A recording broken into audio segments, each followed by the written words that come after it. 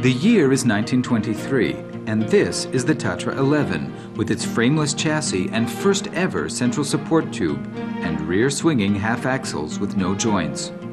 The swinging movement of the half axles enables the gear plates to swivel round the longitudinal vehicle axis while they roll on the pinion gear of the drive shafts. Today, this concept has been retained and improved with a combination suspension consisting of mechanical leaf springs or spiral springs and high-pressure bellows air springs. Telescopic dampers also support the system. The automatic adjustment of the vehicle's clearing height is resolved. The design provides excellent handling, particularly in difficult terrain.